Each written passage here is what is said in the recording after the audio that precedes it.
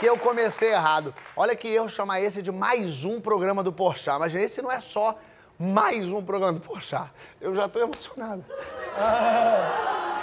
Talvez esse seja o programa mais importante da minha vida. E por isso que hoje eu deixei de lado as notícias para relembrar um episódio. Já estraguei o programa já. De 16 anos atrás. Eu escrevi um texto que eu não vou conseguir falar. Vou pensar em outra coisa. Pensar minha avó de biquíni, pronto. Quando eu tinha 18 anos, tudo mudou para mim. Eu estava fazendo faculdade de marketing e o pessoal falou assim, Fábio, amanhã a gente vai lá no estúdio assistir o programa do Jô, vamos? Eu falei, pô, vamos, claro. Sentei na plateia do estúdio, gelado pra caramba. A gente ficou acompanhando a gravação e na minha frente estava lá o Jô entrevistando as pessoas. E de repente me veio uma ideia, eu falei, cara, peguei um pedaço de papel, escrevi assim, gostaria de ter uma oportunidade de fazer uma apresentação rápida de um texto de minha autoria. Uma coisa que eu inventei, um texto cômico baseado nos normais, que era um texto que eu já fazia para os amigos. Falei, ia ser engraçado fazer aqui no Jô. Aí eu criei força, quando deu um intervalo na gravação, eu corri para a direção dele, ele estava sentadinho no sofá, eu entreguei o bilhete, dei um abraço, voltei para o meu lugar. Falei, o que, que será que vai acontecer? Qual não foi minha surpresa ao ver que ele não só leu o bilhete, como ele me chamou no palco para fazer a cena. Eu lembro de, de verdade, eu lembro de cada detalhe até hoje, assim, da sensação de eu estar tá fazendo aquela cena e a plateia estava rindo, e o Bira estava rindo, e o Jô estava rindo. Eu, eu, lembro de ter saído do meu corpo, ter olhado aquela cena, e naquela hora eu descobri que era aquilo que eu queria fazer para sempre. Foi ali que eu descobri.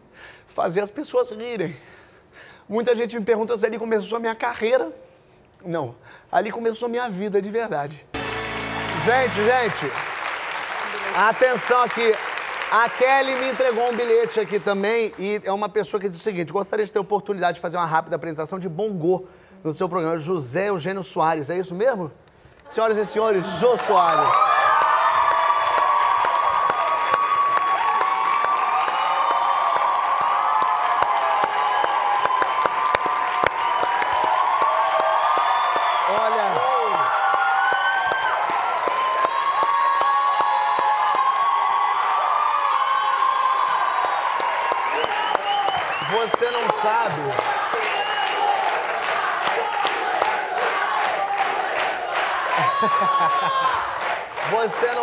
Sabe, Jô, o que é para mim você estar tá aqui hoje.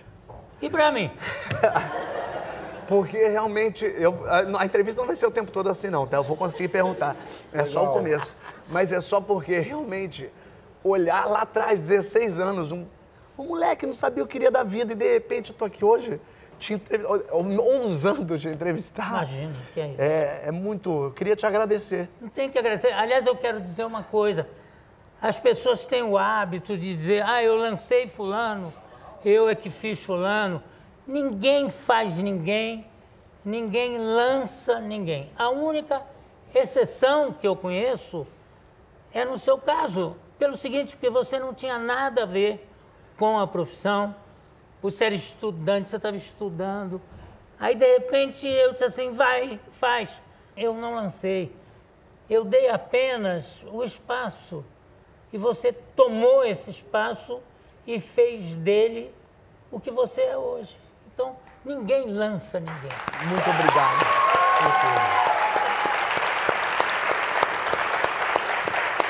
Mas eu queria eu queria falar pro pessoal de casa que a gente até ia botar o Jô pra entrar. Deixa eu botar a canequinha ah, aqui na mão. A gente ia botar o Jô pra sentar na plateia. O Jô falou, não posso porque me machuquei. Eu falei, que isso? O Jô machucou. E aí ele falou, machuquei o joelho remando. Já vamos sacanear. eu falei, ô Jô, aqui, desculpa esfarrapada, me explica essa história. Eu faço fisioterapia todo dia. Faz parte dessa fisioterapia bicicleta, bike, que eu faço 40 minutos, e aí eu remo, um aparelho de remo igual, é igual o remo na lagoa, porque eu já cheguei, quando era moleque, a remar muito tempo em competição na lagoa. Então, quando eu sentei no aparelho, eu vi que era igual. Então, eu tenho que remar 1.500 a 3.000 metros.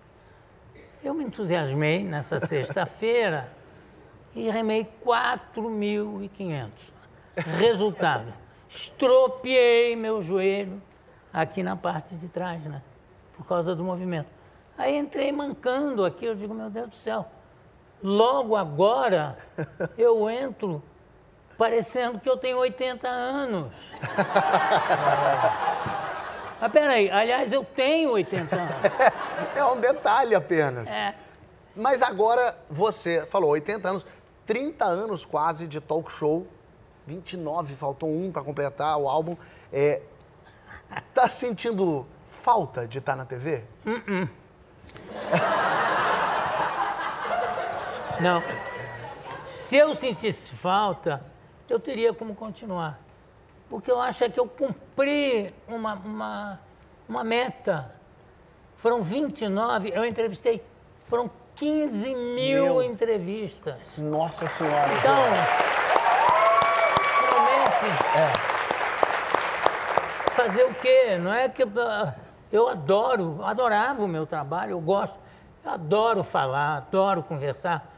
Eu estar aqui, para mim, é um prazer inigualável, porque eu estou com uma pessoa que eu gosto muito e que eu confio. Porque eu também não vou dar entrevista para qualquer pessoa, tem que ser alguém que realmente eu confio. Você eu confio, porque é verdade Obrigado, de novo. sabe? Ah, não perco o seu programa de segunda-feira. É também. verdade, também tem o papo de segunda. Mas a culpa é da Flavinha, que é- não, eu não posso deixar de ver. E você tem uma coisa que eu gosto muito, porque é um pouco a minha característica, que é o improviso. De repente você pega uma coisinha pá, e manda a brasa. Então, não tenho, eu não sinto falta, eu não posso sentir falta depois de 29 anos e de 15 mil entrevistas. Eu tenho 400 entrevistas, já estou aqui, Record, vamos parar esse ano, para mim tá legal. Porque- não. não, vou continuar. Mas é porque realmente 15 mil. Mas ali nesse, nesse bololô de 15 mil pessoas, teve de tudo. Teve gente boa que você entrevistou hoje. Já teve gente que você não quis entrevistar e falou: esse não vai no meu programa. não. Todo mundo. Todo mundo vale uma entrevista, todo mundo. E eu acho que eu lancei uma coisa importante. Isso, isso é uma coisa que realmente eu, eu, me, ufe- eu me ufano de ter lançado, que é o seguinte, o tratamento você, Ah, é verdade. para todo mundo. Porque eu me lembro quando eu comecei o programa, eu entrevistei um, o- um economista que já estava com 90 anos, era assim o, o, o- o- o papa dos economistas do Brasil, cujo nome agora, infelizmente, eu, eu não lembro. Mas, enfim, e eu chamei ele de você. Quando eu cheguei em casa, o Otto Lara, que era muito meu amigo, Lara Rezende, me ligou e falou: Jô, você não pode chamar o Bulhões. Você não pode chamar o Bulhões de você. Sabe? Ele tem 90 anos. Você não pode fazer isso. Eu disse: não, mas eu- você não é desrespeitoso. Sabe? É, sobretudo no Brasil, onde o tratamento você é dado para separar condições sociais. Não é uma coisa de respeito. Você vai entrevistar um médico, você chama de senhor, você vai falar com a ascensorista, é você. Enquanto que na França, que o tratamento é vous, é vous para todo mundo. Então eu estou chamando você para todo mundo. Ele falou, olha, eu não sei se eu concordo. Aí uma semana depois, eu entrevistei o Luiz Carlos Prestes. Chamei ele de você. Na primeira vez que eu falei, senador, você sabe, ele deu uma olhada assim, mas aí seguiu, continuou, continuou, continuou. De repente, ele começou a falar da Olga, e ele falou uma coisa que ele nunca tinha dito nem revelado, que ele disse assim, olha, Jô, a Olga foi o grande amor da minha vida. O Luiz Carlos Prestes falar isso era uma coisa assim, de uma abertura que só foi permitida porque eu chamava ele de você e ele também me chamava de você. Então a Olga foi o grande amor da vida dele.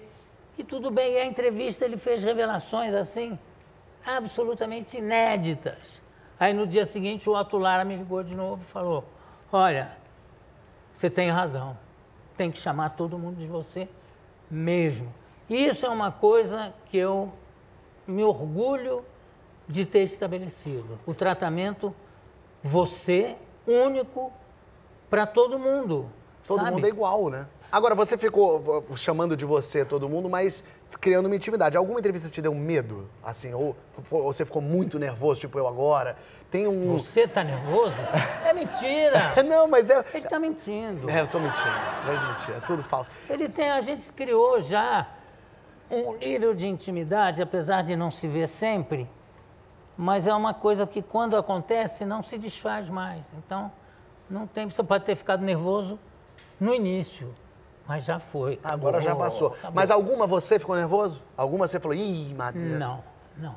Todo mundo ia indo assim? É claro. E também uma coisa que você fez e que eu acho que é certíssimo, que é de que que eu sempre fiz, que é de colocar o teu convidado à tua direita, que é um sinal que a você saiba ou não, é um sinal de deferência. Pode ter sido até automático, não tem importância. É um sinal de deferência. Você coloca o teu convidado à direita. Isso eu acho maravilhoso. E essa importância eu sempre dei. Agora, ficar nervoso por uma entrevista, não. não me, inclusive pelo seguinte, quando eu fui, quando eu estreiei, não havia nenhuma expectativa a respeito. Isso foi em 88? 88. Não havia a menor expectativa.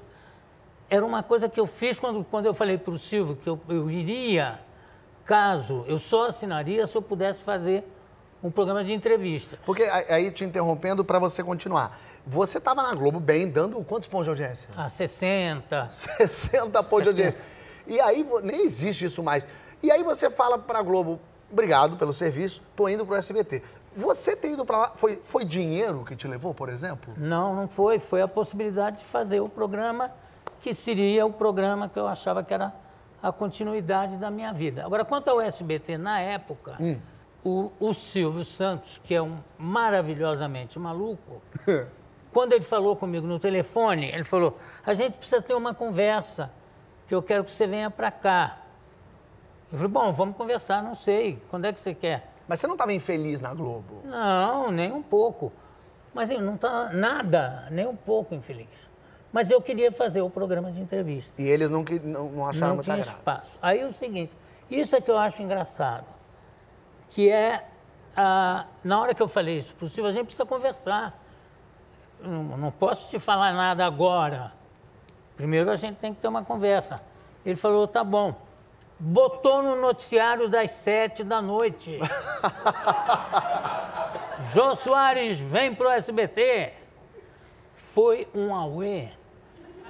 Eu falei, então, é uma televisão que não está morta. Ah, Porque se põe um anúncio desse no jornal e todo mundo, pá, cheguei em casa, tinha o Boni me ligando, vem para pô, pô, Gotinho, como é que é isso? Você já, já assinou? Eu digo, não, não sou louco. Eu vou aí conversar, então. Porque eles não acreditavam muito. Eu cheguei, tinha um pessoal reunido na sala e estava o Magaldi, Borghetti, um monte de gente. Aí tive uma conversa com, com o Boni, ele pediu para esperar, para ver se resolvia. Eu falei, o problema não é dinheiro, Boni. O problema é que eu quero fazer o meu programa, que é o programa que eu vou fazer durante os próximos, pelo menos, 10 anos. Ele falou, não tem espaço para esse programa aqui. Eu digo, então eu sou obrigado a aceitar o convite do Silvio. E foi tudo limpo, terminei o contrato, tudo bonitinho. Quando acabou, eu fui, o Silvio falou para mim assim, mas você quer fazer um programa de entrevista? Eu quero, na linha do Mário Sérgio Conte, que faz há anos. Ele falou para mim, é, mas ele quando está de férias, ele vai para Los Angeles e depois ele vai para o show. Em Las Vegas. É, em Las Vegas. Ele vai, chega em Las Vegas, ele faz uma hora de show. isso é o Johnny Carson, isso era... É, era o Johnny Carson. Faz uma hora de show. Eu digo, aí, quantas vezes você já foi ao teatro, ao teatro me assistir fazendo duas horas? Ele falou, é, tá certo, então tá, vai fazer. E aí ele topou que eu fizesse, mas exigiu que fosse diário. Ele que pediu para ser diário. É, ele é que disse, sem ser diário não dá. Enfim. Tentando resumir uma história que já não deu mais para resumir, o que aconteceu foi isso. Eu tinha lido, aí não sei o, quanto disso é verdade, que você ficou pensando muito quem seria o seu último entrevistado na Globo. Ah, quem seria, quem seria, em 2016. E eu tinha ouvido que você tinha convidado o Silvio Santos para dar entrevista. Convid... Convidei várias vezes. E ele não dá entrevista? Não dá. E é cínico. Ele ainda fala, não. É. Eu encontrei uma cigana. é, encontrei uma cigana na Disney. E aí o que aconteceu é o seguinte: ela me disse que no dia que eu der uma entrevista, eu morro no dia seguinte. Então você há de entender que eu não posso dar entrevista. Isso é mentira, né? Claro! Claro que é mentira. Porque antes dessa desculpa, ele já me deu outras. Que não pode, porque se ele der para mim, vai ter que dar entrevista para todo mundo que ele recusou, inclusive gente muito amiga dele. Então ele não pode para não ter esse problema, ele não dá entrevista para ninguém. Quando eu parei agora na Globo, eu te vou tentar mais uma vez. Falei, Silvio, eu estou parando e seria lindo, já que você que possibilitou a existência desse programa durante 29 anos, puxa, seria tão lindo terminar com você dando essa entrevista. Foi aí que ele me contou a história da cigana. Ele falou, eu não posso, porque eu conheci uma cigana. E você falou, ô, oh, Silvio, não vou cair na tua e eu tal. Falei, você mudou a história, então? Ele falou, não, sempre o problema foi esse da cigana. Eu falei, não, a cigana é uma desculpa recente, porque eu já te convidei na época que eu estava no SBT e também a desculpa era outra, era que você se desse uma entrevista para mim ia ter que dar para todo mundo. Mas agora era a cigana. Então, o da cigana não tem como convidar. É, porque essa pessoa morre. Ele morre no Foi... dia seguinte. Foi a única pessoa que recusou uma entrevista sua. Provavelmente, né? Foi. É, olha só. É o seu Silvio, né? Claro. Agora. A vo... quem eu sou eternamente grato. Que é maravilhoso. Você, é, fazendo entrevista, era o único tudo bem, você tinha até a Marília Gabriela, mas não, é, é, era um programa de entrevista dela, mas não era um formato talk show, como era o Johnny Carson, por não, exemplo. Era outro esquema. Você é. durante. O, o, Johnny Carson era cri... nem foi o criador, né? É, foi antes dele, né? O criador foi um comediante chamado Steve Allen, uh, comediante e músico, que fez enquanto quis. Isso eu acho interessante, porque ele fez o tempo que ele quis e parou. Aí quem passou a fazer foi um outro comediante chamado Jack Parr, que foi o cara que inventou o merchandising ao vivo. Que ele começou a fazer o seguinte: ele estava entrevistando uma pessoa e dizia: Você vai me desculpar, eu não tive tempo de fazer a barba hoje de manhã, então enquanto a gente conversa, eu vou fazer a barba. E ele fazia a barba enquanto conversava, era um merchandising. Ele inventou o merchandising. Né? Então ele fazia a barba, dizia: Que interessante. Você sabe que esse negócio aqui é maravilhoso. e ninguém entendendo que esse homem faz a barba. É, Jacques Parr fez também durante 20 anos, uma coisa assim. Parou quando quis também. Como Letterman também parou, David Letterman. E também a, o, o, o, Johnny Carson. O Johnny, o Johnny Carson. Carson parou quando quis e anunciou na convenção da, da rede. É, a, a, rede qual era? A NBC, era NBC ou ABC, né? É, era NBC? NBC. Na convenção final, ele disse: Olha, eu quero aproveitar para me despedir, já que estamos todos aqui, para dizer que esse é o meu último ano. Né? Aí, uá, uá, uá, aquela coisa do wala wala. Você sabe o que é o wala wala wala wala? Não. Não sabe o que é o wala wala wala? A gente tem que ensinar coisa para esse menino. Tá Ensina tudo. O wala wala wala é o seguinte: tem um, um um extra-americano, um figurante, que é o inventor do Walla Walla de tribunal. que é o seguinte: quando tem um, um filme de julgamento, aí o cara diz assim: não, nesse dia ela estava fora da cidade. Aí os figurantes todos fazem. Wala, wala, wala, wala. é, que é para dar a sensação de que Ih, rolou um murmúrio. É, né? Ele é que inventou. Wala, wala. Quer dizer, vamos falar, quando eu falar, ele está fora da cidade, vocês fazem wala, wala, wala, tá? Vamos ver. Ele está fora da cidade. Não. O pessoal gritou aqui ainda. Fez uala, uala. Parecia um personagem do Golias. Uala! Não, não, é, é bem baixinho. Tá? Vamos de novo. Ela estava fora da cidade. Mas Não é perfeito? É maravilhoso.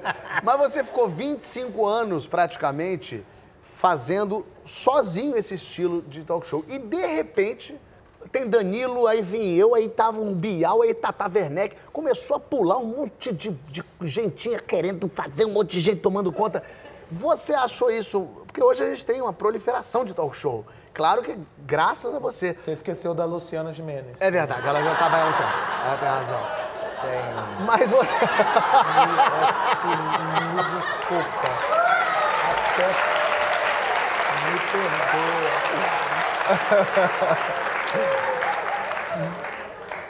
Quem é? Você. Quem é? você- Me perdoa. Quem é? Quem é a Luciana Quem? Gimenez ou o Não, Paulo Luciana, Luciana. Esse é o Paulo Vieira, que é o meu louro José. Louro José. Olha.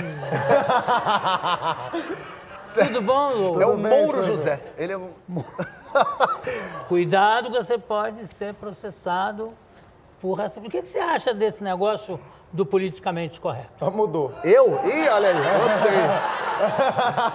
Eu acho duas coisas. Eu acho que tem um lado bom, porque obriga a gente a pensar antes de falar. Isso é ótimo. É sempre bom a gente pensar antes de falar. Mais um lado ruim, que você pode levar isso para a criação da piada. Quando você quer falar uma coisa e você pensa, ai, mas será que eu posso falar sobre isso? E você começa a se autocensurar e isso é muito ruim. Por isso faz... que eu gosto do marrom. Marcelo Marrom. É, que diz assim, não, estão dizendo que eu pardo. Eu não sou pardo, eu não sou envelope. Sabe? Agora, você, eu tô vendo que é um rapaz assim, você é da onde? Tocantins. Tô com o quê? Sou do Tocantins. O que, que você faz lá em Tocantins. Como é- Por que, que você Peraí, veio peraí. pra cá? Olha, Então calma. Então vamos fazer o seguinte. O, o, o Pé da Letícia já foi entrevistado pelo Jô Soares. Já. Eu já fui entrevistado pelo Jô Soares. O Paulo Vieira nunca foi entrevistado pelo Jô. E é o sonho da vida dele ser entrevistado. Você pode fazer um pocket entrevista com o Paulo Vieira? Posso, claro. Paulo, senta no sofá aqui com o Jô, por favor.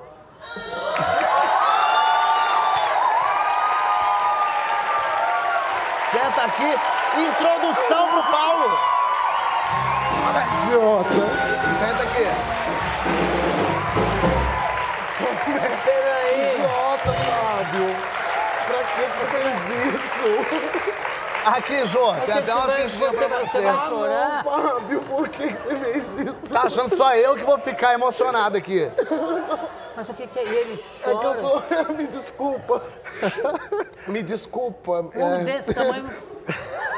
Ah, nem... Agora vai ter É que ser que eu engraçado, parabéns. Você é o Meu único Deus. Meu Deus. veio para São Paulo. Foi. Sua mãe, o que, que achou dessa sua viagem pra cá? Minha O que, mãe... que ela acha de você trabalhar com, com, com o Fábio? Ela não acha muita coisa, sabia? Minha família tem. Minha família tem. Eu acho que eles estão meio alheios a essa coisa da televisão. Não assistem? Então, não, é, eles até assistem, mas assim, eu chego em casa é a mesma coisa. Parece que tanto faz se eu vim fazer televisão ou se eu fui bater uma laje. Eu chego em casa é a mesma coisa. Então, isso Queria é mandar legal. até um beijo pra família do Paulo, imagina. Beijo. Família, mas- ó. Um beijo pra sua Mas família. isso aí- E é verdade que você. Isso estava mas programado, é sério? Tava. Ah, Fábio, você é a pessoa mais maravilhosa do mundo, cara. Quem Que é que é a pessoa mais maravilhosa? É o senhor, claro. O Fábio é segundo. Eu sentei aqui para ser humilhado dessa maneira. Vem Eu cá, e o negócio dos bombeiros? Qual é a tua relação com o Corpo de Bombeiros de Tocantins? Eu, eu fui. Eu, eu desfilei em carro aberto. Por quê? Por gente, quê? Porque eu ganhei o Faustão, ganhei o, o- um prêmio lá, ganhei o Quem Chega Lá. E aí cheguei no Tocantins, ovacionário, aí teve carro de bombeiro. E aí eu fui contratado pela Globo. Eu só- juro por Deus, eu só o Fábio me chamou pra ir pro Porta. E aí eu só aceitei ir pra Globo, porque eu falei assim, eu vou conseguir dar entrevista pro Jô. E aí não consegui ir lá. Mas você não pediu. Eu pedi, Não. eu pedi, mas... as aí- pessoas erradas. Por Você pediu É, errado, pe- é. Mas aquele moço que ficava na porta de preto, ele não era quem mandava? Acho que era o segurança. Ah, eu né? pedi tanto pra ele um Que- ano. É, e ele Foi um dizia ano que mentia errando. pra você? Ah, ele falava vaza. E aí eu ia embora, era mais. Mas, meu Deus, que coisa incrível. Mas tá aí, olha, você, a sua mãe, você acha que vai ficar contente vendo você? aqui? Minha mãe vai, vai ficar bastante contente. A minha mãe é um pouco brava, mas ela vai. Ela, eu vou até falar pra ela assistir hoje. Pede pra ela ver. E como era a sua vida lá em Tocantins? Minha vida era, era. É ótima. Eu tive uma infância no interior, que é a vida normal de interior, né? Mas Vida disseram de- que você denunciou sua mãe por maus tratos. Meu Deus. Como é que é isso? A, a minha mãe, é, minha mãe é- era, era brava, né?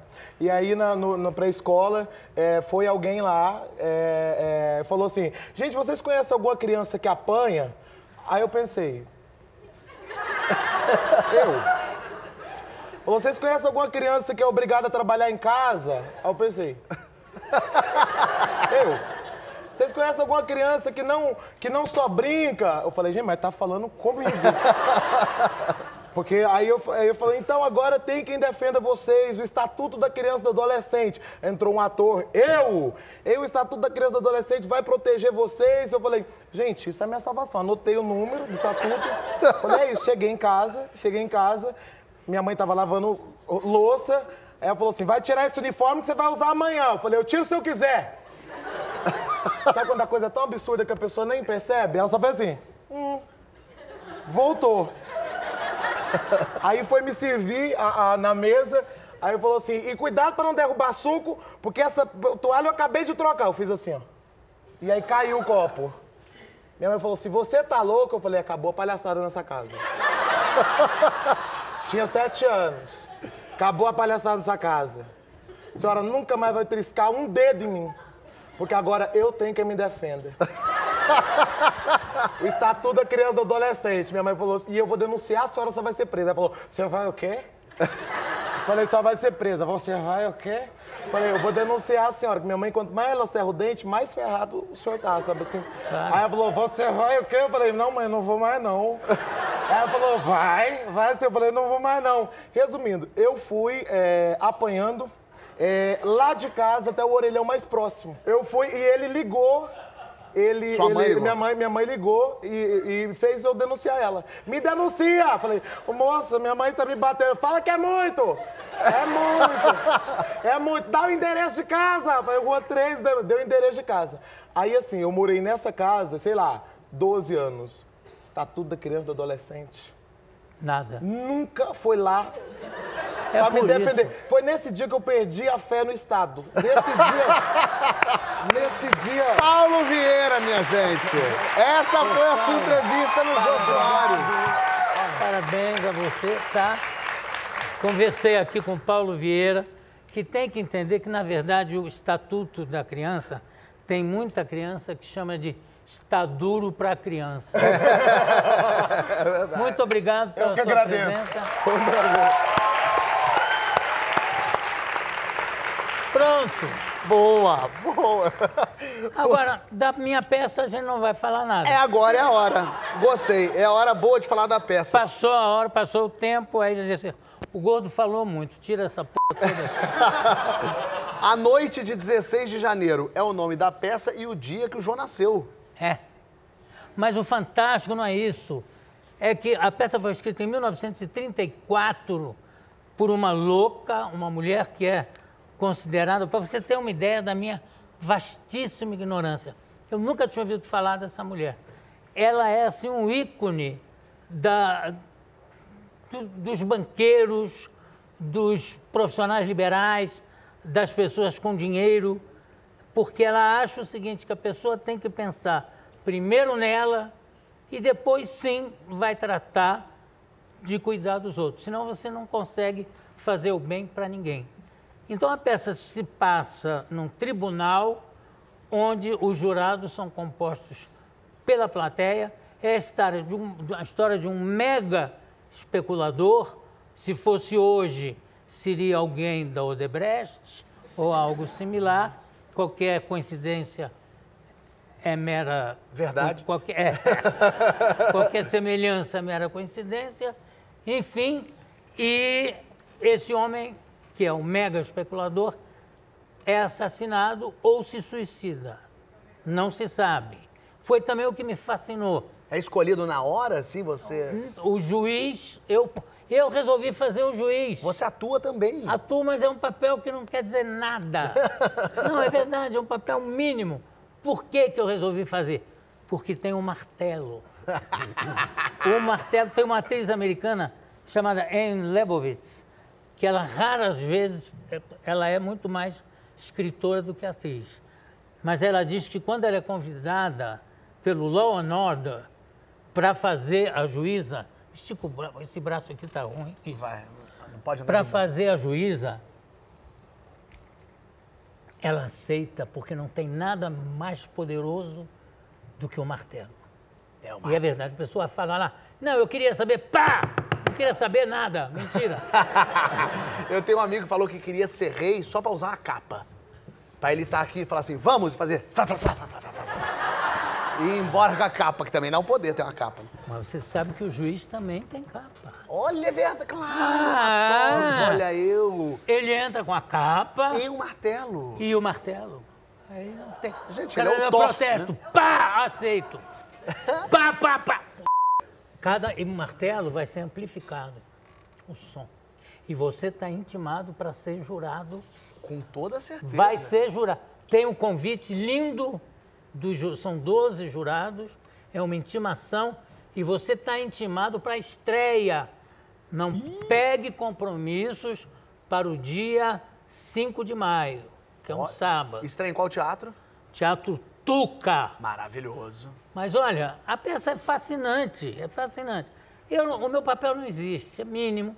Eu não subo num palco ao lado de outros atores há puta, 30 anos, sei lá, porque depois eu passei a fazer só espetáculos solo, né? Dirigiu Todos muito. homens, é. Aí passei a dirigir, fiz ah, Vivo Gordo Abaixo do Regime, Todos Amam um Homem Gordo, ah, Um Gordoidão no País da Inflação, Um Gordo em Concerto, que foi quando eu caí de moto. Tive que me- É. Enfim, são oito. Espetáculos. Aí eu disse, vou voltar pelo seguinte, tem um elenco de 15 pessoas. Eu quero voltar a, a criar uma coisa que o meu amigo Fagundes chegou a criar, que é um teatro de repertório. Então eu estou lá para mostrar que eu faço parte daquela trupe. Gostou, o né? papel não existe, o papel é mínimo, mas é um papel de juiz. Porra, juiz é juiz. Pá! Mas, mas a cada dia o veredito pode mudar? Claro, tem dois finais. Ah. A peça tem dois finais, depende dos jurados. Se ela é considerada inocente, é um final. Se ela for considerada culpada, o final é outro. Mas você não fica com medo de botar o público pra decidir, ainda mais nesse momento polarizado, de que é ódio, e o outro fala, bandido bom, é bandido morto, o outro fala, não é nada disso. Porque agora tá, tá todo mundo muito extremado, você não acha? Por isso que é bom. Ah, Por isso é que é genial. Porque você vai ter, vai dar para você. Eu vou anotar, inclusive, cada dia qual foi o resultado do julgamento. Porque aí vai dar para você ver como é que o público vai estar se comportando de uma maneira geral. Porque é claro que quem vai estar sendo julgado ali, aquele personagem pode ser um. Pode, ele me lembra muito o Odebrecht, ou me lembra muito aquele da carne do bife. do Joesley Batista, É, da JBS. né? puta, que devia usar aquilo no olho, de tanto que dá uma porrada nele, para ver se ele aprende aquele bife que se põe assim. Enfim, eu acho que a peça é um momento ideal. A peça foi escrita em 34 e você vê que a situação aqui está igual. A peça fica sexta, sábado e domingo. Isso. Até quando? Em princípio, até dezembro, se der. Que loucura, até o final do ano. Mas É. não pode dizer isso, que daí a pessoa fala assim, ah, então Ah, deixa pra não, ver é, em não. outubro. É durante um mês. Isso. Aí a pessoa, então tem que ver. Depois, devido a grande sucesso, É, vai até julho. continua. Depois de sucesso, vai indo... Não, eu acho que na realidade não é até o fim do ano, não, é até julho mesmo. Olha isso, boa. Eu não sei, Já colocando a tática em prática rapidamente, é. isso que é bom. Mas já que eu homenageei o Paulo aqui, você entrevistando ele, eu queria também homenagear a nossa banda. Você pode, junto com a banda tocando um bongô, Posso, se você Pode quiser. ser? Ó, tá aqui. Tem, a gente já preparou pra você, pra imortalizar o pé da Letícia nisso. Peraí, deixa eu ir aí pra segurar pra você. Fica aqui. Vem aqui. Porque... Ui, pezinho até no seu pé. Nossa, esse é dos pesados. Esse é. Mas vai assim mesmo, tá bom. Então vamos, Vamos lá. lá.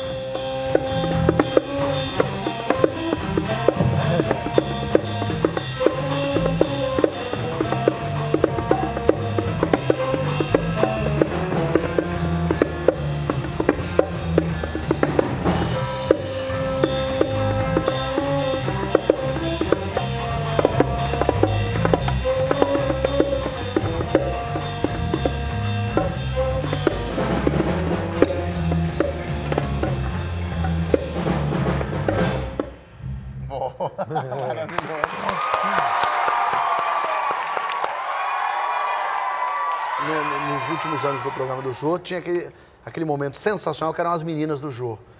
Que era bárbaro aquilo. Eu fiquei pensando se aquilo também não dava um programa, porque é tão legal. É a única coisa que eu sinto falta, você perguntou, você não sente falta? Não. A única coisa que eu sinto falta é o Meninas. Ah, olha aí, era muito legal. Foi uma boa ideia, uma grande sacada. Mas ali vocês falavam muito de política. Tinha o martelo. Vocês falavam muito de um política. É, agora eu entendi. Vocês falavam muito de política. É, E os seus quadros de humor lá atrás, eles falavam muito de política. Você falava, ligava pro general e falava. É, essa necessidade. Você acha que o comediante, ou o ator, ou o artista, tem que ser político? Tem que falar de política? Não, não necessariamente. Só que é um assunto. Você está falando de política o tempo todo. Mesmo quando não está, você está. Desculpe eu voltar a falar, eu estou aqui na, na Record, mas vou voltar a me referir ao programa de segunda, que é um programa altamente política, político, sem necessariamente falar em política. Eu vi vocês falando da Copa do Mundo. Verdade. Não tem nada de política, tem tudo de política. Né? Qualquer assunto que é abordado é político, porque eh, o homem é um ser político. Isso Sim, não, o tempo não foi eu todo. que disse, mas é. Né? E o, o, o, o- o humor, o humorista, não está isento disso. Por isso é que eu acho esse negócio do politicamente correto uma bobagem que não tem tamanho. Sobretudo porque esse momento politicamente correto, hoje é um, amanhã será outro. Depois da manhã será outro, sabe?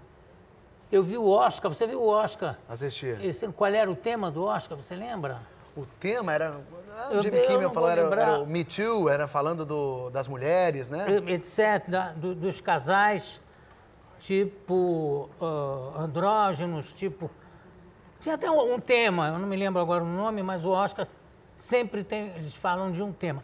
Então eles falavam de casais, tipo homem casado com homem, mulher com mulher, ah, os andrógenos, Trans. Os trans. A, a atriz que ganhou o Oscar, inclusive, do filme, que, que ganhou o Oscar de filme estrangeiro chileno, era uma trans. É, É e, uma trans. e o tema era isso, sobre casais ou situações. Tem até um nome, mas eu não me lembro agora. Mas, enfim, de coisas ah, diferentes. No entanto, não tinha nenhum casal, que hoje em dia é dos mais diferentes, que é um homem com mulher. Não tinha. né? Porque é difícil. Isso, hoje em dia, vai acabar chamando mais atenção. Aliás, o, o Drauzio Varela tem uma frase genial. Ele fala: se o seu vizinho é casado com um homem e isso te incomoda, se a sua vizinha do outro lado é casada com uma mulher e isso te incomoda, procura um médico que você é que está muito doente. e é verdade. A Whoopi Goldberg falou uma coisa que é ótima, que ela fala assim, se você é contra o casamento gay, não case com um. Eu acho isso maravilhoso. Eu acho isso perfeito. Mas você, por exemplo, falando em política, você entrevistou vários políticos, mas teve uma entrevista sua recente que você entrevistou a Dilma e você foi muito criticado. Nossa, pintaram na, na porta da minha casa Morra Jô Soares. Mas aí eu prédio resolvi não concordar. Então, quer dizer, primeiro que, porque é o seguinte, sempre vou entrevistar um presidente da República. Claro. É minha obrigação. Agora, fiz todas as perguntas que todo mundo queria fazer. Você não todas. achou que você foi chapa branca? Não, é que eu não debati. Ah. Eu não entrei em debate. Eu fiz a pergunta que todos queriam fazer. Você mentiu quando não sei o quê. Aí ela falou, e aí eu não debati. Mas é porque Fui não para é a o- próxima pergunta. Próxima pergunta é a respeito do não sei o quê. Tará. Ficaram loucos da vida porque eu não entrei em debate com a presidente. Mas não era a minha função, não Isso era. que eu ia perguntar. Não é sua função como entrevistador cutucar ou com a presidente você achou que seria indelicado? Não, eu acho que como entrevistador, eu tenho a obrigação de fazer todas as perguntas as mais incômodas possíveis, que foi o que eu fiz. Mas aí eu não posso parar para ficar debatendo se ela tinha razão ou não, porque na hora que eu começo a debater, eu tomo partido. E você achava que ela tinha razão? Né? Não, eu achava, eu achava, em primeiro lugar, eu acho um absurdo ela ter concorrido. ah, aliás, eu acho que o próprio Lula, pelo que eu sei, é o tal negócio que entra no terreno do sabe como. Não, não sei. Eu presumo o seguinte, que o combinado era Dilma concorrer uma vez e depois passar de volta a bola Pro Lula. para o Lula. Mas estava tão gostoso que ela não passou. Eu também não passaria. Tá Né? tudo- tá funcionando, Não, eu fui. Tem direito a ficar mais quatro anos. Ah, então vou ficar. Não, mas foi combinado. Ah, foi combinado, mas não foi mais. Eu vou ficar. E ficou a mais, né? Agora, acho que, o- acho que o Lula, para mim, eu tô, aí é uma opinião pessoal, não é nem de artista, é uma opinião de brasileiro. O Lula me decepcionou. Só isso. Acho que ele decepcionou a muitos brasileiros, petistas ou não. Eu vou te contar o seguinte. Ah, eu fiz a última entrevista com ele, a última entrevista que eu fiz com Lula foi na véspera das eleições, quando eu entrevistei todos os candidatos. Quem melhor falou sobre cultura foi ele. Olha aí. Tá? Aí depois de eleito, primeira manifestação cultural que ele foi, ele dormiu. depois ele foi na inauguração da Feira do Livro e falou que ler é como andar, de, andar na esteira. É muito chato, mas tem que fazer. Mas não interessa, foi quem melhor falou. Eu fiquei impressionadíssimo. Aí eu cheguei em casa, uma e meia da manhã, toco o telefone, era o Lula para dizer, olha, eu estou te ligando porque. Ele estava com Duda Mendonça. Estou te ligando porque essa entrevista vai me dar sorte. Porque é a décima terceira entrevista que você está fazendo comigo. E o número 13, você sabe, é o número do PT, é o número do partido. Isso vai me dar muita sorte. Então, muito obrigado. Era uma e meia da manhã, ele me ligou para agradecer a entrevista. Uma pessoa que eu entrevistei 13 vezes é porque eu acreditava em alguma coisa, né? 13 vezes. O Aloysio Mercadante foi meu amigo de me convidar para jantar na casa dele quando eu me separei da Flavinha. Ele disse: Eu queria que você se sentisse um ambiente familiar, não ficasse tão. Sabe, você conta comigo. A gente, quando eu ganhei um prêmio da Isto É, de personalidade do ano, um prêmio da, da revista Isto É, de uma delas, e aí teve uma homenagem para entregar o prêmio, e eu sentei na mesa com o Mercadante, com o Zé Dirceu, Eita. e, é, bom, e com o. Oh, meu Deus. Genuíno? O Zé, Genu, Zé Genuíno. Genuíno. Zé Genuíno, Mas era formação de quadrilha? Não entendi. quase. o Zé Genuíno, aliás, Zé Genuíno e o, o Mercadante, a gente saía muito para jantar. Era amigo de sair. Bom, aí nesse, nesse dia tem uma coisa até engraçada, que o, o Zé Genuíno de vez em quando levantava, saía e voltava. Levantava, saía e voltava. Eu falei, o que que é que você faz? Ele, não, partido pequeno tem que aparecer. Então, cada vez que chega uma televisão diferente, eu levanto e finjo que estou chegando. Aí me entrevista. Ah, Que ótima então, mas pode te dizer o nível de intimidade que havia entre nós. Agora você vai dizer, você era petista? Não, eu nunca tive. Eu acho que o, o, o artista tem que ser anarquista, ele não pode ter filiação política nenhuma. Ele tem que estar pronto para criticar todas. Comediante, então, né? Tem que bater em todo mundo. Claro, claro, senão fica uma loucura, né? Agora, eu não tenho nada contra, apenas a minha posição é de anarquista. Sim. Você, Olha aí, tem um cara que já quer me bater. você falou que às vezes, é, que como entrevistado, você faz as perguntas e às vezes perguntas incômodas. Queria te fazer uma pergunta das- sobre as críticas.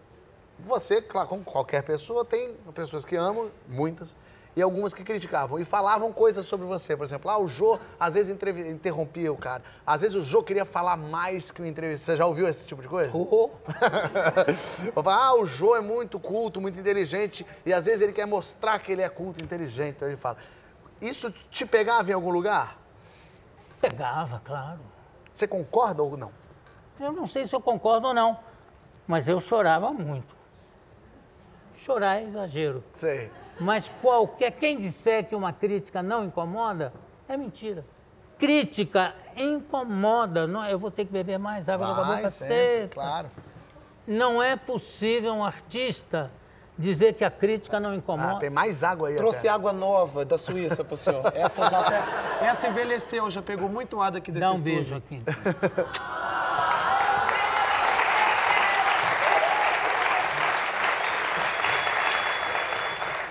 A crítica incomoda, sobretudo que você acha que todo mundo leu.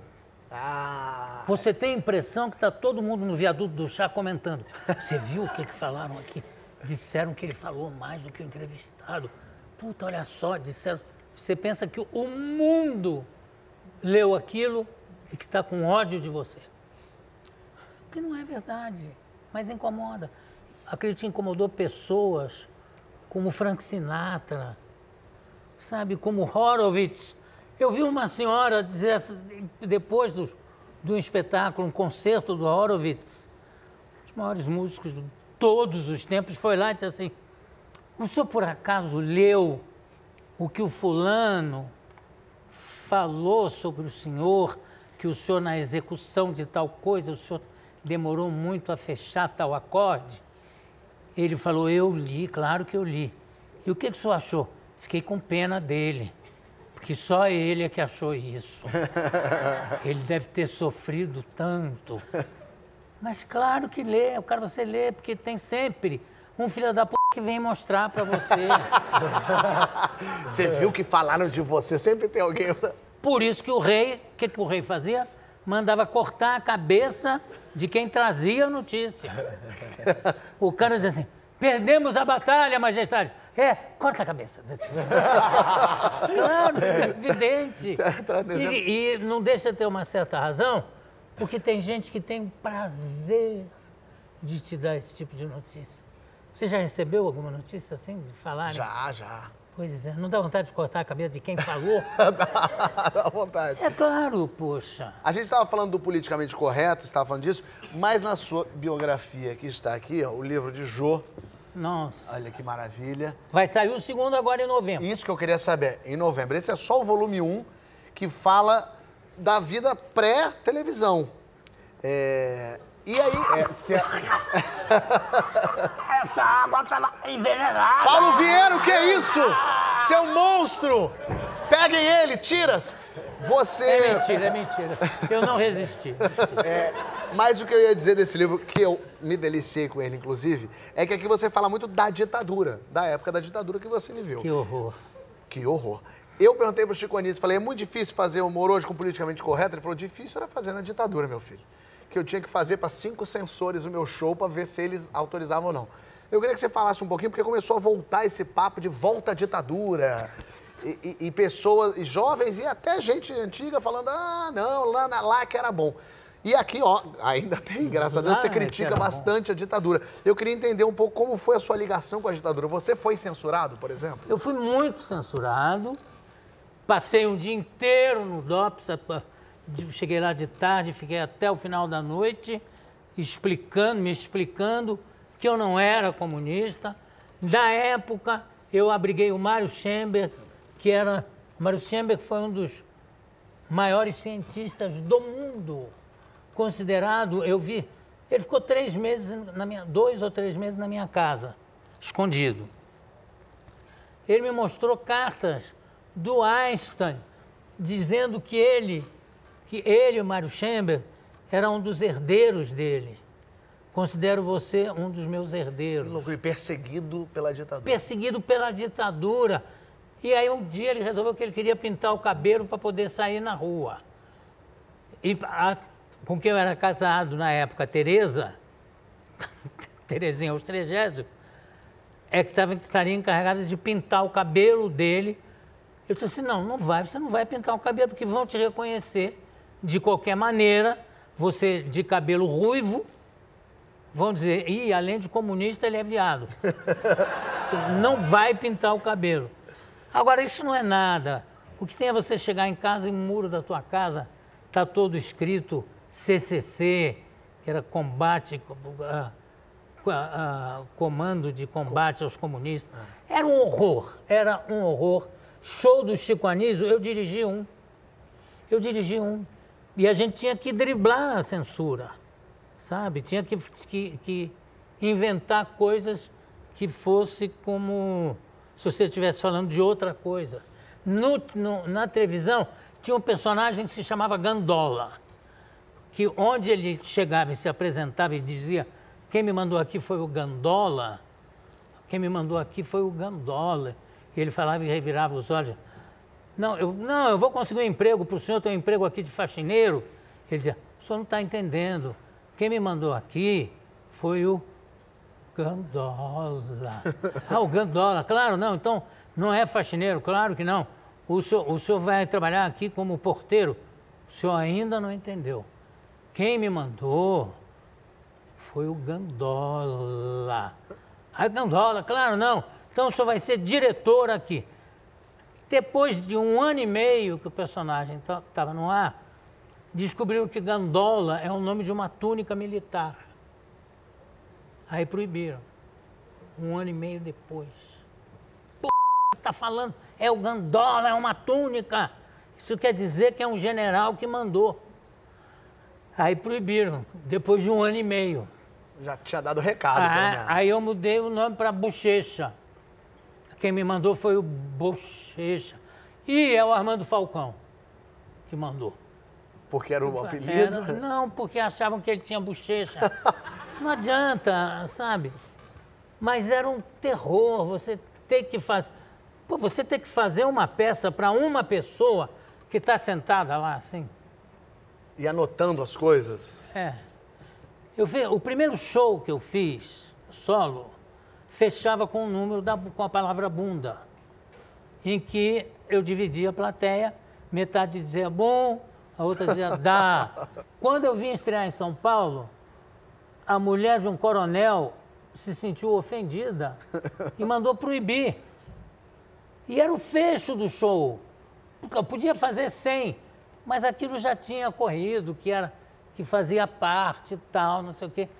Aí eu digo, não pode fazer, não pode. Vamos para Brasília, vamos falar com o censor-chefe, que graças a Deus era um cara esclarecido chamado, tenho que dar um nome porque era realmente um cara que ajudou, chamado Luiz, é, Wilson Aguiar, e que o filho é escritor, Wilson Aguiar Filho. Aí eu fui com Johnny Ebert, que foi quem tinha me cedido o teatro, ele estava com teatro na época. Ele falou: não, vamos lá, pra, vamos para Brasília. Chegamos em Brasília, na hora que nós entramos no prédio da, da, da, da Polícia Federal, para falar com o Wilson Aguiar, disse assim, olha, ele não está, ele foi inaugurar um, um, um, um departamento lá em, na capital, lá em Goiânia. Eu disse, puta, mas então a gente veio até aqui para nada, vamos para Goiânia. Aí o, o Johnny Herbert falou, vamos, vamos alugar um, um teco-teco, porque não tinha jatinho, né?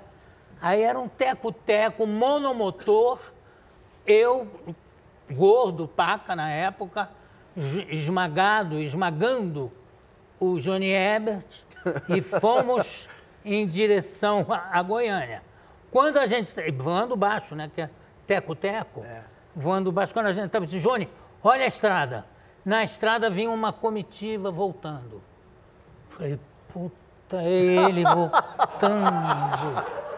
Aí a gente chegou, quando chegou em, em, em Goiânia, foi no prédio, disse assim, vocês perderam, eles acabaram de sair daqui. Então vamos voltar. Voltamos e ficamos esperando ele chegar. Sentadinho aqui, chegou, quando ele chegou, tinha um general junto com ele. E o general mostrando a sua imensa educação, ao passar por mim, falou: Que cagada você aprontou, hein, cara? Isso era um general. Eu falei: É, pois é, general, estamos vendo o que, que a gente faz. Aí falei com o Wilson Gás e disse assim: não tem problema, faz o seguinte: senta naquela máquina ali de escrever e escreve, pega o número e escreve um monte de outras coisas no número. Um monte de bobagem, de palavrão. Aí eu sentei e enfiei dentro do número um monte de palavrão, de besteira. Enfim, fiz uma coisa horrorosa dentro do texto. Aí entreguei para o Wilson, está pronto? Eu falei, tá. Ele pegou aquilo tudo que eu tinha escrito naquela hora e aquele trecho ele botou cortado, cortado, carimbado, censurado, censurado, censurado. Censurou aquilo e aí o número ficou como era. E aí disse assim, liberado com cortes. Aí voltamos para São Paulo, chegamos na porta do teatro, na hora de começar, estava a menina da censura, que estava aflita com aquele corte, com aquele absurdo, torcendo, torcendo pela gente, com a peça embaixo do braço. Conseguiram, conseguiram. Está aqui, ó, liberado com cortes. Mas como? Não, mas os cortes foi o que eu escrevi hoje. e aí o número passou. Você vê as artimanhas. Que tinham que ser E esse feitas. sujeito era a favor. Ele fez isso para me proteger. Claro. Você vê. ah, e ao mesmo tempo tinha outros sensores que eram terríveis, né? Que cortavam. Não teve um cara que perguntou para o Mário Chembe, pe- pegou o livro dele do Platão, Diálogos de Platão, e ficou preso porque ele não dizia diálogos de Platão com quem. Porra. Realmente fica É complicado. mais puxado, né? Eu soube que você que falou pro Gil e pro Caetano que eles iam ser perseguidos. Eu saí, eu estava na, na sala do Paulinho de Carvalho, porque nós todos éramos contratados pela Record na época. tá? Golias, Zelone, Caetano, Gil, Elis Regina, todo mundo fazia parte do elenco do, do- Da Record. Da Record. Aqui. É. Comecei aqui, gente. Olha que legal. Gente, eu comecei aqui. Me deu até uma coisa. Mas aí, o, o- nossa, o que, que eu estava falando? Ah, sim. A gente ficava muito na sala do Paulinho, que a gente tinha reuniões de produção lá. Newton Travesso, a quem eu sou eternamente grato também. Manuel Carlos, ah, Marcelo Leopoldo Silva, a gente sempre estava na sala do Paulinho, reunidos, conversando, batendo papo, ah, reuniões de produção, era tudo na sala do Paulinho. De repente, a gente entra na sala e está o Paulinho com uma lista na mão, diz assim, olha que eu estou aqui, acabei de receber uma lista dos nossos artistas que vão ser intimados pela, pela Polícia Federal. Olha só que coisa, que coisa terrível. E a lista era de fonte limpíssima, pelo seguinte, porque quem fazia a segurança da Record na época era o Fleury. O famigerado Fleury, que na época não era ainda famigerado. Sei. Mas era o Fleury, era o cara ligado à segurança. Enfim, então, um pavor. Você vivia num estado de, de medo, medo, medo mesmo. Aí eu olhei aquela lista, nós olhamos assim. Aí o, o, o Paulinho Machado Carvalho falou: olha só, os dois primeiros nomes da lista são Caetano Veloso e Gilberto Gil. Eu falei, P... e eu frequentava a casa deles. Quando teve aquele negócio que eles foram vaiados, eu fui das primeiras pessoas a chegar na casa deles para dizer, olha, a gente está com vocês, essa vaia é falta de total de conhecimento. Mas enfim, quer dizer, a gente tinha uma, tinha Uma intimidade. uma, uma intimidade de, de eu ir, de eu me enfiar praticamente na casa deles. Aí eu disse assim, eu tenho que dar um jeito de avisar. Porém, havia um medo de usar o telefone da própria Record. Porque a gente sabia que o, o Fleury fazia a segurança, vai que aquela p... toda Grampeado. grampeada. Que não custava nada aquilo ser grampeado. Óbvio. Aí eu pedi licença, eu disse, ah, esqueci um negócio em casa. Saí dali correndo, fui pro primeiro orelhão que eu encontrei. Olha, o medo era tanto que eu não quis usar nenhum orelhão que fosse perto do teatro. Que loucura. É, paranoia, né? Que fosse perto ali da consolação. Aí fui andando, saí dos arredores, primeiro orelhão que eu achei, peguei, liguei, falei com, com, o Caetano, eu não me lembro se foi, acho que foi com o Caetano ou com o Gil que atendeu, foi um dos dois. O Gil chegou a me agradecer no ar, também isso eu fico comovido até hoje, quando eu penso, eu entrevistando o Gil, o Gil lembrar disso e agradecer no ar. Mas, enfim, eu fa- eu falei, olha, acabei de ver uma lista em que tem o nome de vocês encabeçando, eu não sei... se- não, a gente já sabe disso, obrigado. E seguiu a vida. Bem depois é que fizeram a, a crueldade de prendê-los. Tanto que foi pre- preso lá no quartel de Realengo, né? Tanto que quando teve a música Aquele Abraço, eu estava guiando meu carro, parei, eu não, sei onde eu estava indo, eu sei que era uma estrada, acho que eu estava indo para Santos, eu parei no meio da estrada, quando eu ouvi a música e que ele falou alô, alô, Realengo, aquele abraço, eu percebi o- a dimensão que aquela música tinha. Eu parei e fiquei chorando. Parei e fiquei uns 15 minutos chorando, ouvindo aquela música pela primeira vez. E cada vez que eu escuto, aquilo me bate com, com o mesmo impacto. Mas, enfim, ah, são coisas que, eu, que, que era preciso fazer. Sei. Sabe, não, não tenho que me ufanar disso nem nada. Eram coisas que eu achava que eu tinha que Mas você fazer. não tinha medo de, daí, tipo, tipo, você falou, você, você ficou um dia inteiro lá na cadeia. Você Eu não tinha medo de te medo, eu tinha medo torturarem, o tempo, morrer? tinha medo o tempo todo. Eu morava numa, numa vila, na Brigadeiro Luiz Antônio, que do outro lado era a rua Tutóia, e lá funcionava a Operação Bandeirantes, a famigerada OBAN, Ob- Operação Bandeirantes, né? Bom, cada vez que eu ia para casa, eu tinha que passar ali em frente.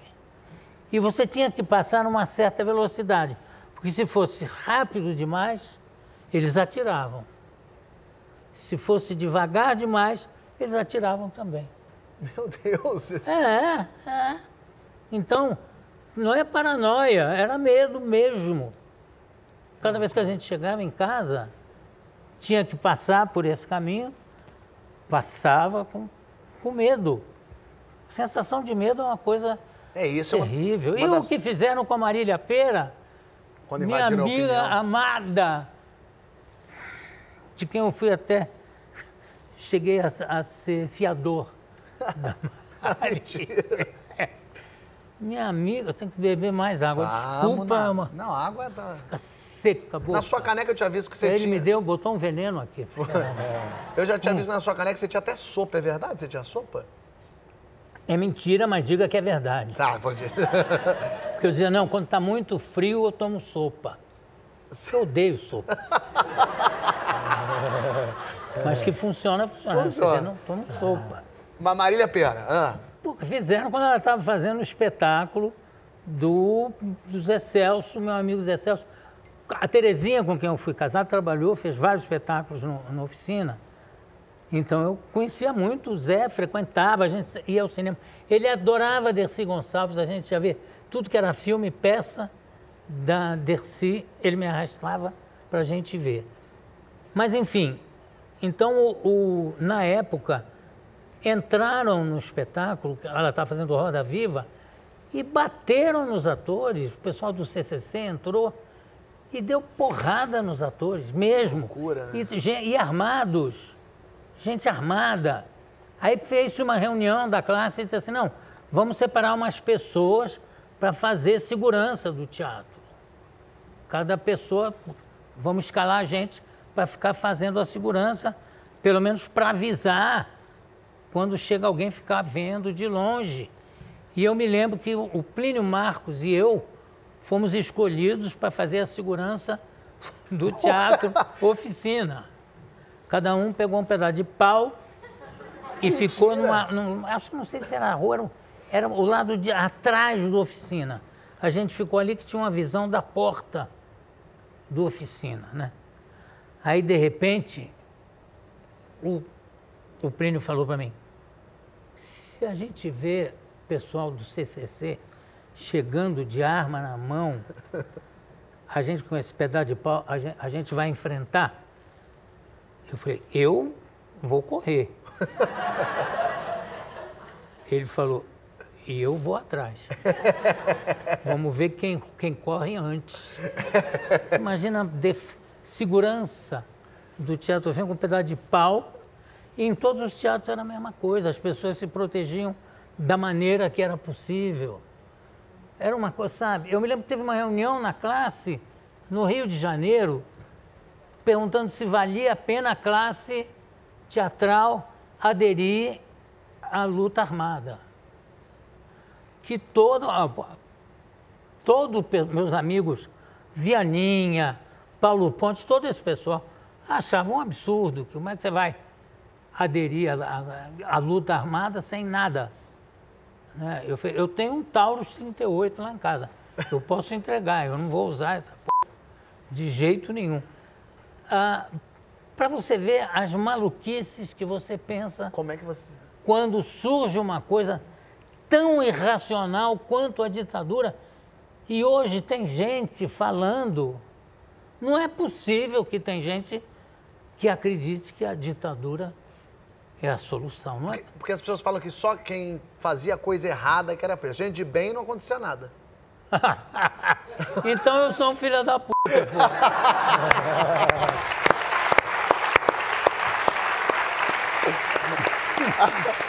Você falou que começou na. Essa teoria, essa teoria. Jô, quando eu fui no seu programa, primeira vez lá em 2002, eu tava com uma camisa de Portugal. E, ah, inclusive, todos os portugueses, agora eu vou para Portugal fazer show lá, falam, por que, que você tava com aquela camisa? Eu queria ter uma história maravilhosa, eu só falo, porque sim. Mas, é, apesar de amar Portugal, eu tô com uma camisa de Portugal aqui e eu queria que você autografasse essa camisa para eu guardar ela para sempre. com o maior prazer. Pode ser? Claro que pode. Então, no próximo bloco, ela vai estar auto- autografadinha para mim. Segura aí que a gente já volta.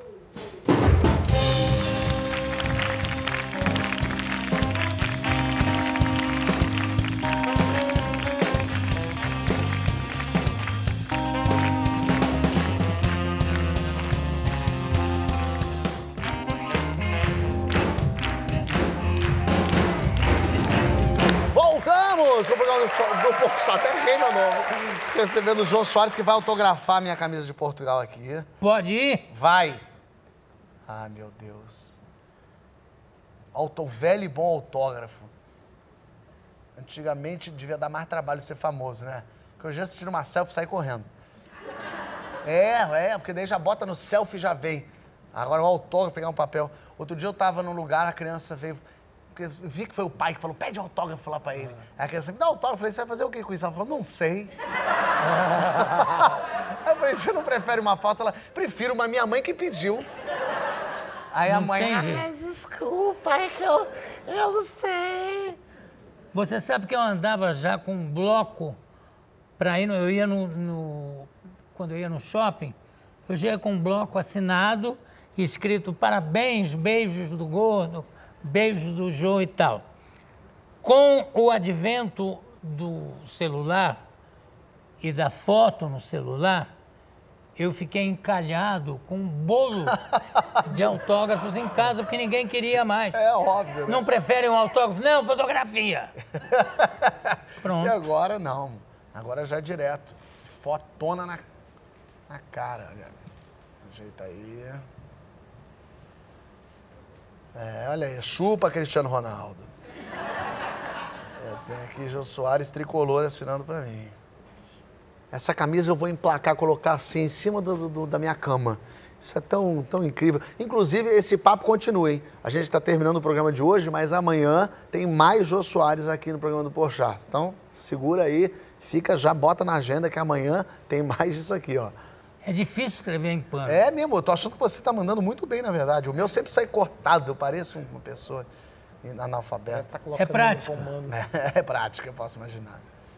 Ó, fui elogiar, já errou. Não, não, é que... Ó, assento. Pronto. Oi, Fabinho, muito, muito obrigado.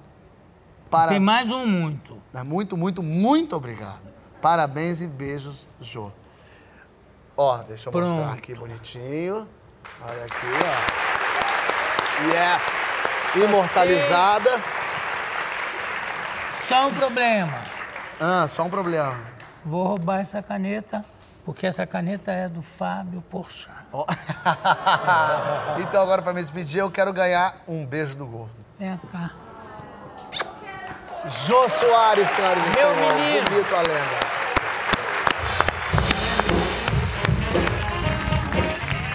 Valeu, minha gente. Esse foi o programa do Porchat, mas amanhã tem mais Jô Soares. Bota na agenda aí. Valeu.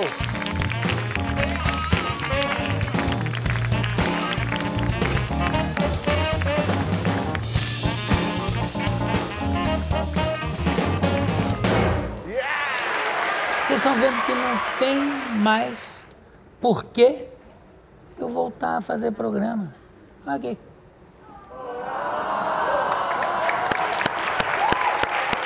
Pronto, parabéns. Obrigado eu, querido.